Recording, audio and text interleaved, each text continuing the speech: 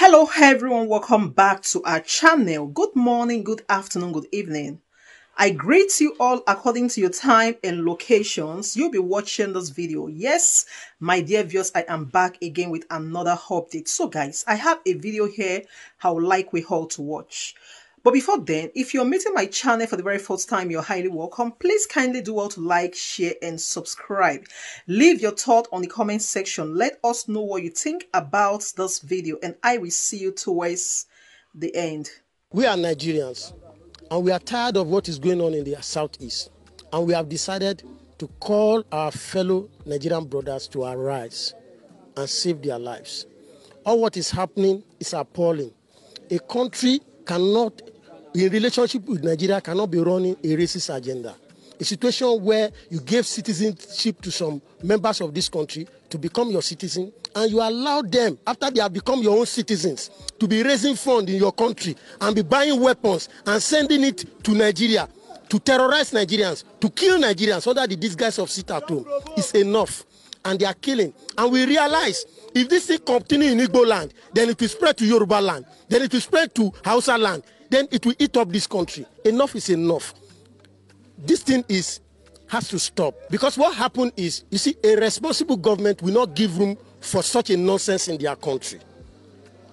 And when people come on social media and they can confidently before cameras and be raising funds to buy weapons and send down here and we see what they are using it to do. And you, that country, there was a time they had to interrogate they interrogated Samuel Ekpa. We read in the news that he was arrested and interrogated. What was it, their findings and everything? And what are they hiding about? They are claiming they are no longer Nigerians. Then why, why are they doing that?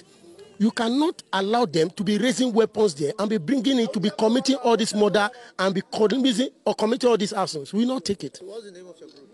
The name of it is a peace, Eh? peace group. Peace Group. Yes. Uh, are they Igbos? Are they Yorubas? We are, we are all Nigerians.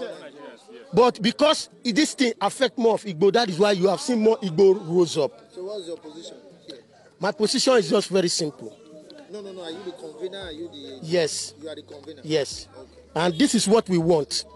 All those actors who have been raising um, Samuel Ekpa and the rest of them, who have been raising fund under the disguise of IPOB, under the disguise of ESN, under the disguise of unknown government, and they have been bringing those weapons, smuggling it into Nigeria to commit all this evil. They should repatriate all of them down because we Nigerians see that citizenship as a scam. So they should repatriate them here. We want them to go back to their villages and see what they have done before they face the law.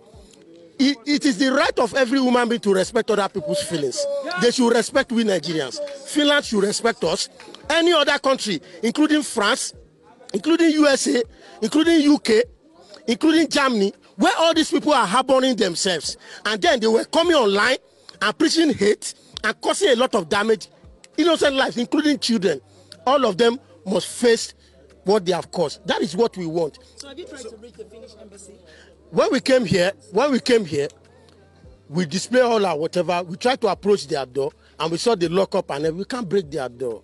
We are law-abiding citizens, and we know that their territory here is just like Finland government in Nigeria. So that is why we held our peace. But a few times before you came, they sent one person, one of their security to us to talk to us that they want to speak with one person among us. And my team volunteered me to speak with them. But up to now, they are yet to talk to us. Then another thing we hear is they set it tomorrow. Well, even if it is next tomorrow, we are occupying this place. And as this time goes on, um, we are calling on all Nigerians to come here. We are occupying here. We will be, the more they are wasting time, we will become millions here. So basically, you want them to repatriate. They should repatriate them and they should stop all this racist agenda. Stop allowing some Nigerians in your country to be raising weapons and be bringing it home. Not only ECPA.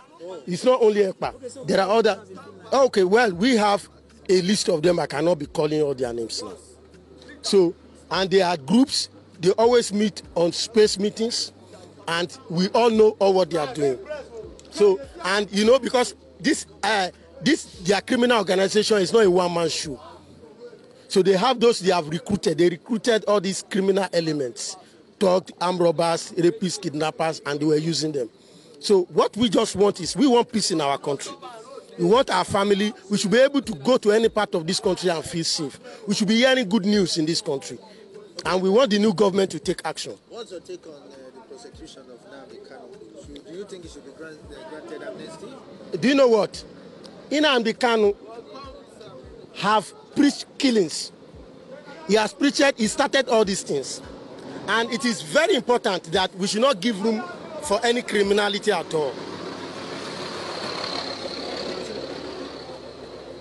So, Nnamdi Kanu started all this killing, started all these things. You cannot do all those things, invite war into your land, raise weapon. They are the people who started raising weapons. So the truth is that all what he has done is criminal. It is criminal. That is terrorism. So we are not interested in any evil act. We are we should be law abiding. There are ways to go about things without killing human beings. If you want to do sit at home civil disobedience exercise, it should be voluntary. It should not be a thing by force, by fire, by killing them, they must comply. And they felt they were having the OD. So Nnamdi Kanu has committed terrorist act. And they should investigate him. Government should also respect the law. We want things to go in order. We want the right things to be going in this country. We want our government to swing into action. We cannot just leave the Igbos alone with this problem. We are brothers, we are sisters, and they are dying, and they don't have a voice. But because some people are in greener pasture and they are being sponsored by some foreigners, and they are committing a lot of atrocities. So that is our take on it. Yes, ma'am. Akin Okunowo. Yes, Okunowo. Akin Okunowo. Akin, Akin Okunowo convener, of the peace, uh, this uh, Occupy Finland and all these places. That's the name of your group. No, peace group. peace group. Yes. I'm Nelson Ndubisi. I am an Igbo man. I am Nelson Ndubisi. I am an Igbo man. So we are all preaching for peace and for the unity of the country. We no longer want any division in this country. So many marginalization has been going on. So many things have been going wrong in this country. This is time for the youth to stand up and speak out. If our leaders are not willing to speak up, this is the time for us to speak up. What has been going on in this country has not been fair. This is a country where we used to have peace. But as time goes on, we no longer understand, even the system of the government, we no longer understand what is going on. That is why we have to rise. The, the, the, the, the granting of the citizenship in Finland, we, we did not accept it. It's not fair. We take it to be a scam. How can somebody be a citizen of another country while he's officiating in another country? And you are, the, you are born and brought up in that same country while you are making people to suffer. It's not fair. All these things, this is what we are preaching for. We are preaching for peace and unity of this country.